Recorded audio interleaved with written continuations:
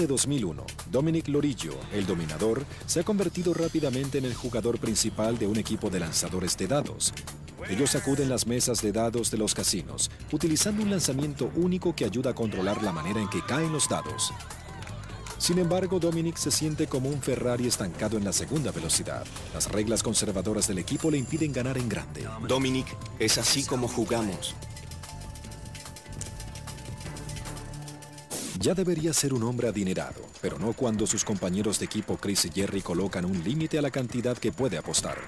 Comenzamos con unidades realmente bajas, fichas de 5 dólares. Si alguien deseaba apostar más, no tendría permiso para hacerlo. Tenía que seguir los patrones establecidos. En vista de que las apuestas eran tan bajas, ni siquiera una racha ganadora permitía acumular demasiado. 5 mil dólares sería una buena ganancia para Rosebud. Dominic se siente cada vez más frustrado con las restricciones de Rosebud. Lo que caracteriza a un verdadero jugador favorecido o un buen jugador de azar es saber cuándo es su noche y tener las agallas para hacer grandes apuestas. Dominic siente que Rosebud lo reprime de otras maneras también. A diferencia de sus compañeros de equipo, Dominic se emociona todo el tiempo. Sí. Los demás son bastante conservadores, no muestran emoción en la mesa de dados. El juego de dados es un juego de emociones. Es el espíritu del juego. Luego, en abril de 2001, durante una sesión de práctica de Rosebud, Chris aparece con un invitado especial. Caballeros, les presento a Frank Scoblete. Para mí todo comenzó con Frank. Es el hombre que escribió el libro que me enseñó que era posible controlar los dados. Estaba escribiendo un libro sobre los controladores de dados llamado Crabs Underground, o dados a un bajo perfil, y quería conocer a los mejores controladores de dados que había, la nueva generación. Escribir me ayudó bastante, aún así tuve que tomar clases de Chris. Tengan cuidado, este hombre es bueno. Grandioso, otro buen lanzador. Siempre es bueno contar con otro buen lanzador. Frank intenta disipar la tensión. Sí, vamos Jerry. He leído sobre tu famoso método por años. ¿Quieres desafiarme? ¿Uno a uno? Pagaría por ver eso. Solo quise decir que fueran amables con Frank. Escribirá sobre ustedes en su próximo libro. Frank era una celebridad para mí, había leído todos sus libros y estaba un poco nervioso al conocer a este escritor del cual había leído tanto. Muy bien, a jugar. A la vista del famoso escritor, Dominic está decidido a mostrar su mejor forma de jugar. Aun cuando no puede apostar mucho, por lo menos puede jugar en grande y su equipo lo observa.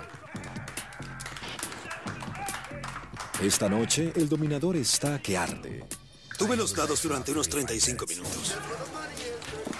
Un controlador de dados demuestra su destreza por el número de veces que puede lanzar sin lanzar un 7. Fue muy divertido. Cuando sé que la gente me está viendo, necesito hacerlo bien y mi habilidad para montar un espectáculo se hace presente. La ley de los promedios dice que un 7 aparecerá una vez cada seis tiros y Dominic estaba desafiando la ley de los promedios. Sí. Su primera racha fueron 27 números antes del 7. Su racha siguiente fueron 35 números antes del 7. Esto es jugar dados de la manera en que Dominic siempre ha soñado, y nada de esto pasó desapercibido para Frank. Este hombre pudo hacerlo frente a mí. Y es importante destacar que él sabía que yo escribiría sobre él. Sabía que lo estaba viendo y tuvo el control. Cuando conocí a Frank, eso representó el comienzo de todo. Era alguien que finalmente caminaba como se debía y hablaba como se debía. En Frank Escobletti, Dominic descubre un espíritu afín. Jugamos juntos y de inmediato nos hicimos amigos. Pocas semanas más tarde, Scobletti contacta a Dominic con una oferta tentadora. Recuerdo claramente la reunión. Estábamos en Atlantic City y nos tomamos un par de tragos. Reconócelo, Tom. Estás en el equipo errado, con los chicos cerrados. Le debo mucho a Chris. Me ha enseñado todo. Por supuesto, porque te quería para el equipo. Muy bien, ¿qué sugieres? Sugiero que comencemos nuestro propio equipo. ¿Tienes idea de cuánto dinero podríamos ganar juntos? Yo también quería hacer algo por mi cuenta. Honestamente, no entiendo cómo Chris incluyó a algunos de esos hombres en el equipo. Esa es la razón por la que ellos te necesitan más a ti de lo que tú a ellos. Vamos.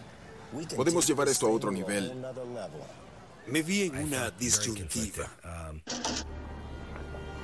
Las frustraciones de Dominic finalmente llegan a su fin. decide abandonar Rosebud. Hice lo correcto en el momento correcto. Dominic todavía tiene que hablar con Chris y Jerry, quienes también están en Atlantic City ese fin de semana. Vamos chicos, es lo mejor para todos. Igual siempre pensaron que no podía jugar de la manera en que ustedes querían. ¿Tanto te incomodo? Mucho más de lo que ustedes piensan. Es verdad, Jerry.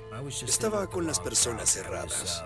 Estaba jugando con personas que no eran como yo. ¿Cuáles son tus planes, Dom? Voy a asociarme con Frank. Lo sabía. Cállate, Jerry. Lamento que te vayas.